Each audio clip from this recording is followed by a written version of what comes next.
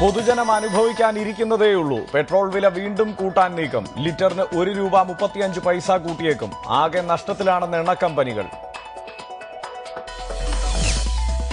അട്ടിമറി വെളിപ്പെടുന്നു. അഭയക്കേസിൽ പുതിയ വഴിത്തിരിവ്. അഭയയുടെ ശരീരത്തിൽ പുരുഷബീജം കണ്ടെത്തിയെന്ന രാസപരിശോധനാ ഫലം തിരുത്തിയെന്ന് കോടതി.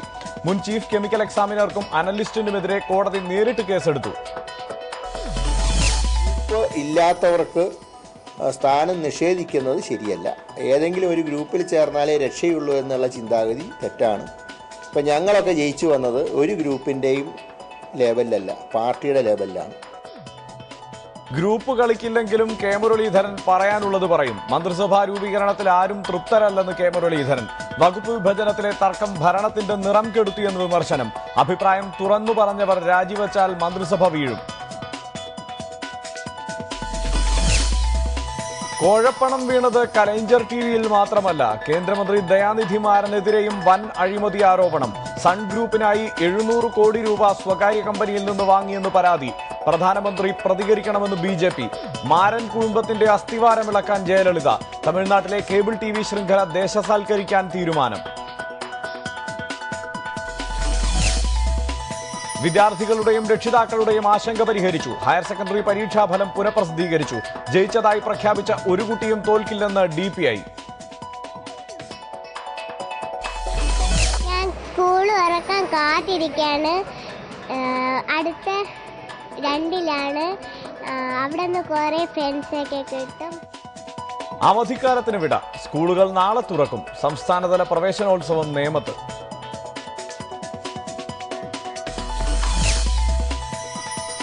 വിഴിഞ്ഞം തുറമുഖ പദ്ധതിയെക്കുറിച്ച് വിശദമായ പഠനം നടത്താൻ കേന്ദ്ര വനം പരിസ്ഥിതി മന്ത്രാലയം തീരുമാനിച്ചു. പാരിസ്ഥിതിക ആഘാതവും പരിഹാര മാർഗങ്ങളും സംബന്ധിച്ച് റിപ്പോർട്ട് നൽകാൻ സംസ്ഥാന സർക്കാരിനോട് ആവശ്യപ്പെടും ആപ്പിളയുടെ ഫ്ളാറ്റ് ഉടമകൾ അക്കൗണ്ടിലെ മുഴുവൻ പണവും പിൻവലിച്ചെന്ന് പോലീസ്. ഇവർ വാങ്ങിയ മുപ്പതോളം ആഡംബര വാഹനങ്ങളെക്കുറിച്ച് അന്വേഷിക്കുന്നു.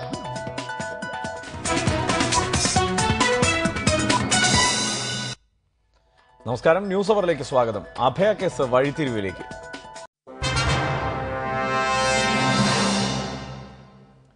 സിസ്റ്റർ അഭയയുടെ ആന്തരിക അവയവങ്ങളുടെ രാസപരിശോധനയിൽ കൃത്രിമം നടന്നിട്ടുണ്ടെന്ന് തിരുവനന്തപുരം ചീഫ് ജുഡീഷ്യൽ മാജിസ്ട്രേറ്റ് കോടതി കണ്ടെത്തി. ചീഫ് കെമിക്കൽ എക്സാമിനറായിരുന്ന ആർ ഗീതയ്ക്കും അനലിസ്റ്റ് ഡി ചിത്രയ്ക്കുമെതിരെ കോടതി നേരിട്ട് കേസെടുത്തു. സിസ്റ്റർ അഭയയുടെ ആന്തരിക അവയവങ്ങളുടെ രാസപരിശോധനയുടെ വർക്ക് ബുക്കിൽ എട്ട് തിരുത്തലുകൾ വരുത്തിയിട്ടുണ്ടെന്നാണ് തിരുവനന്തപുരം സി കോടതി കണ്ടെത്തിയത്. ചീഫ് കെമിക്കൽ എക്സാമിനറായിരുന്ന ആർ ഗീതയും കെമിക്കൽ അനലിസ്റ്റായിരുന്ന ഡി ചിത്രയും കുറ്റക്കാരാണെന്നും കോടതി കണ്ടെത്തി. സിസ്റ്റർ അഭയയുടെ ആന്തരിക അവയവങ്ങളിൽ പുരുഷ ബീജത്തിന്റെ അംശങ്ങൾ കണ്ടെത്തിയെന്നത് വെട്ടിത്തിരുത്തിയും ചുരണ്ടി മാറ്റിയും പുരുഷബീജം കണ്ടെത്തിയിട്ടില്ല എന്നാക്കിയെന്നാണ് കേസ്. വർക്ക് ബുക്ക് പരിശോധിക്കുകയും സാക്ഷികളിൽ നിന്ന് നേരിട്ട് തെളിവെടുക്കുകയും ചെയ്താണ് രാസപരിശോധനയിൽ കൃത്രിമം നടന്നെന്ന് chief judicial magistrate Cheriyan Varghese കണ്ടെത്തിയത്. മനുഷ്യാവകാശ പ്രവർത്തകനായ ജോമോൻ പുത്തമ്പരയിൽ നൽകിയ സ്വകാര്യ അന്യായത്തിൽ ഇതോടെ കോടതി നേരിട്ട് കേസെടുക്കുകയും ചെയ്തു. പ്രതികളായ ആർ ഗീതയ്ക്കും ഡി ചിത്രയ്ക്കുമെതിരെ കുറ്റപത്രം തയ്യാറായെങ്കിലും പ്രതികൾ ഹാജരാകാത്തതിനാൽ കുറ്റപത്രം വായിച്ചില്ല. വർക്ക് ബുക്കിൽ തിരുത്തലുകൾ സ്വാഭാവികമാണെന്നും സി ആർ പി സി നൂറ്റി തൊണ്ണൂറ്റിയേഴ് പ്രകാരം സർക്കാർ ജീവനക്കാരുടെ ഔദ്യോഗിക കൃത്യനിർവഹണത്തിന്റെ നിയമ സംരക്ഷണം തങ്ങൾക്ക് നൽകണമെന്നും ഗീതയും ചിത്രയും നേരത്തെ വാദിച്ചെങ്കിലും അത് നിലനിൽക്കുന്നതല്ലെന്ന് കോടതി ഉത്തരവിൽ വ്യക്തമാക്കി. തിരുത്തലുകൾ വരുത്തുമ്പോൾ അവിടെ ഒപ്പിടുകയും കാരണം കാണിക്കുകയും ചെയ്യണമെന്ന നിബന്ധന ഗീതയും ചിത്രയും പാലിച്ചിട്ടില്ലെന്നും കോടതി കണ്ടെത്തിയിട്ടുണ്ട്. വ്യാജരേഖ ചമക്കിലടക്കമുള്ള കുറ്റങ്ങൾക്കാണ് പ്രതികൾക്കെതിരെ കേസെടുത്തിട്ടുള്ളത്. ആയിരത്തി തൊള്ളായിരത്തി തൊണ്ണൂറ്റി രണ്ട് മാർച്ച് ഇരുപത്തിയേഴിനാണ് സിസ്റ്റർ അഭയുടെ മൃതദേഹം കോട്ടയം പൈസ്റ്റൻസ് കോൺവെന്റിലെ കിണറ്റിൽ കണ്ടെത്തിയത്. സിസ്റ്റർ അഭയെ കൊലപ്പെടുത്തിയതാണെന്നും father Thomas Kottoor father Jose Puthrukkayil sister Stephy എന്നിവർ ഈ കേസിൽ പ്രതികളാണെന്നും അന്വേഷണത്തിൽ സി നേരത്തെ കണ്ടെത്തിയിരുന്നു. ആന്തരിക അവയവ പരിശോധനയിൽ പുരുഷബീജം കണ്ടെത്തിയിട്ടും തിരുത്തിയെന്ന് വ്യക്തമായതോടെ അഭയക്കേസിൽ മറ്റൊരു വഴിത്തിരിവ് കൂടി ഉണ്ടായിരിക്കുന്നു. മഹേഷ് ചന്ദ്രൻ ഏഷ്യാനെറ്റ് ന്യൂസ് തിരുവനന്തപുരം. സഭാ വക്താവ് അഡ്വക്കേറ്റ് അജി മനുഷ്യാവകാശ പ്രവർത്തകനായ ശ്രീ ജോമോൻ പുത്തൻപൂരയ്ക്കൽ അഭയകേസിലെ മുൻ അന്വേഷണ ഉദ്യോഗസ്ഥൻ ശ്രീ വർഗീസ് പി തോമസ് എന്നിവരാണ് ഇപ്പോൾ ചർച്ചയിൽ നമ്മോടൊപ്പം പങ്കെടുക്കുന്നത്. അഡ്വക്കേറ്റ് അജി അഭയകേസിലെ പ്രതികൾക്കെതിരെ നിലവിലുള്ള തെളിവുകൾ ദുർബലമാണെന്ന വാദം ഇതോടെ പൊളിയുകയല്ലേ? ഒരിക്കലുമല്ല കാരണം അതായത് ഈ രണ്ടും രണ്ട് രീതിയിലുള്ള വാദഗതികളാണ് വന്നിരിക്കുന്നത്. ഒന്ന് ഈ അഭയയുടെ സി ബി സി ബി കൊടുത്തിരിക്കുന്ന കുറ്റപത്രം അനുസരിച്ച് അഭയ മരിച്ചത് മറ്റൊരു രീതിയിലാണ്. ഇവിടെ സി സി ജെ എം കോടതിയിലെ ജോബം കൊടുത്തിരിക്കുന്ന കേസ് അനുസരിച്ചിരിക്കുമ്പോൾ അതായത് അഭയയുടെ ശരീരത്തിൽ സെവന്റെ പ്രസൻസ് കണ്ടെന്നും അതില്ല എന്നുള്ള തിരുത്തലാവുന്നെങ്കിൽ അഭയ കൊല്ലപ്പെട്ടത് ഈ പറയുന്ന റേപ്പോ മറ്റേതെങ്കിലും രീതിയിൽ നടന്നിട്ടുള്ള ഒരു നിഗമനത്തിലേക്ക് എന്നുള്ള രീതിയിലാണ് അവരൊരു ചൂണ്ടിക്കാട്ടൽ. അതുകൊണ്ട് രണ്ടും രണ്ട് തരത്തിലാണ്. ഇപ്പം C B C J M കോടതിയുടെ കേസ് നിലനിൽക്കുന്ന ഒരു കേസായി നാളെ പരിഗണിക്കുകയാണെങ്കിൽ ഇപ്പോൾ സി ബി ഐ എറണാകുളത്ത് കൊടുത്തിരിക്കുന്ന കോട്ടുപത്രം പിൻവലിക്കേണ്ടതായിട്ട് വരും. അപ്പം തീർച്ചയായിട്ടും രണ്ടും രണ്ട് ദിശയിലുള്ളതാണ്. ഇവിടെ യഥാർത്ഥത്തിൽ സംഭവിച്ചിരിക്കുന്നത് മനുഷ്യാവകാശ പ്രവർത്തനം അഭിമ എന്ന് മുന്നോട്ട് വന്നിരിക്കുന്ന ജോമൻ പുത്തമ്പരയ്ക്കലും ഈ ക്രിമിനൽ ഇൻവെസ്റ്റിഗേഷന്റെ ബേസിക് അറിയാത്ത വർഗീസ് പി തോമസും തമ്മിലുള്ള ഗൂഢാലോചനയാണ് അഭയ കേസിന്റെ ആദ്യ ഘട്ടം മുതൽ ഇവരുടെ കൃത്രിമമായിട്ടുള്ള ഒരു മാനിപ്പുലേഷൻസ് ആണ് ഇവിടെ മൊത്തം ഉണ്ടാക്കിയിരിക്കുന്നത്. നമ്മൾ ഞാനിത് പറയാൻ കാരണം വർഗീസ് പി തോമസ് അന്വേഷിച്ചിരിക്കുന്ന മുൻ കേസുകളുടെ ചരിത്രം നോക്കിയാൽ മതി. പാനൂർ സോമൻ കേസിൽ നമുക്ക് എന്തായാലും അഡ്വക്കേറ്റ് അജി നമ്മൾ ഇവിടെ ചർച്ച ചെയ്യുന്നത് അഭയ കേസുമായി ബന്ധപ്പെട്ട കാര്യമാണ് പുതിയ കണ്ടെത്തലാണ്. ഈ കാര്യത്തിൽ ഇവരാരും കണ്ടെത്തിയിട്ടുള്ളതല്ല. കോടതി നേരിട്ട് അന്വേഷിച്ച് കോടതി കൃത്യമായി ഇത്രയും ആളുകളെ വിചാരണ ചെയ്തുകൊണ്ട് കുറ്റപത്രം നേരിട്ട് നൽകിയിരിക്കുന്നു. കോടതി നേരിട്ട് കേസെടുക്കുന്ന സാഹചര്യം ഉണ്ടായിരിക്കുന്നു. അത് അതുകൊണ്ട് തന്നെ ഇത്തരം തിരുത്തലുകൾ ഉണ്ടായിട്ടുണ്ട് എങ്കിൽ ഇതുകൂടി ഒരുപക്ഷെ സി ബി ഐയുടെ അന്വേഷണത്തിൽ കൂട്ടിച്ചേർക്കപ്പെട്ടേക്കാവുന്ന ഒരു പുതിയ സാഹചര്യം അങ്ങനെയല്ല ഇതിനെ വിലയിരുത്തേണ്ടത്? അല്ല ഈ ഈ ഗീതയേനും ഈ കെമിക്കൽ അനാലിസിനും ഞാൻ മനസ്സിലാക്കിയിടത്തോളം C B I C B I അവരുടെ തിരു ന്യൂഡൽഹിയിലുള്ള അവരുടെ ഓഫീസിൽ വിളിച്ചു വരുത്തി എ എം എസിലെ പ്രഗത്ഭരായ ഉദ്യോഗസ്ഥരുടെ സാന്നിധ്യത്തിൽ അവരതിനെക്കുറിച്ച് ഡിസ്കഷൻ നടത്തിയതിനു ശേഷമാണ് ഈ വിശദാംശങ്ങളിലേക്ക് അവർ കടക്കാതിരുന്നിട്ടുള്ളത്. ഞാൻ തിരിച്ചു വരാം. താങ്കളിലേക്ക് ശ്രീ ജോമോൻ പുത്തൻപുരക്കൽ ഇപ്പോൾ നമ്മോടൊപ്പം ചേരുന്നു. ശ്രീ ജോമോൻ പുത്തൻപുരയ്ക്കൽ ഇത് ഒരു തരത്തിലും നിലവിലെ അഭയ അഭയ കേസിലെ പ്രതികളെ പ്രതികൾക്കെതിരായ തെളിവുകൾ ദുർബലമാണെന്ന ഇവരുടെ വാദത്തെ ഖണ്ഡിക്കുന്ന തരത്തിലുള്ള ഒരു കണ്ടെത്തലല്ല എന്നാണ് അഡ്വക്കേറ്റ് അജി വാദിക്കുന്നത്. അതെങ്ങനെയാണോ? ഈ വക്കീലെന്ന് പറഞ്ഞു നടക്കുന്ന ഇയാൾ അഭയ കേസിലെ പ്രതി കോട്ടൂരിന്റെ വക്കാലത്തും എടുത്തുകൊണ്ട് വക്കാലത്തില്ലാത്ത വക്കീലുമായിട്ട് അയാൾ എന്തിനാണ് ഈ ഗീതയും ചിത്രയ്ക്കെതിരെ കുറ്റപത്രം ഇന്ന് കോടതി കൊടുത്തതിനകത്ത് ഇയാൾക്ക് എന്തിനാ ഇവിടെ വാദിക്കേണ്ട ഇവർക്ക് വേണ്ടി വാദിക്കേണ്ട കാര്യം എന്തിനാ? ഇവരുടെ നിരപരാധിത്വത്തെ കുറിച്ച് പറയാൻ ഇവിടെ വക്കീലില്ലേ? വക്കീൽ പറയും അത് കോടതിയൊക്കെ തള്ളുകയും ചെയ്തിരുന്നില്ല. അപ്പം അതിൽ നിന്ന് എന്താണ് മനസ്സിലാക്കുന്നത്? ഞാൻ ഈ ആദ്യം മുതലേ ഏഷ്യാനെറ്റ് ഉൾപ്പെടെയുള്ള ചാനലുകളിൽ ഞാൻ പറഞ്ഞൊരു പ്രധാനപ്പെട്ട സംഗതിയുണ്ട്.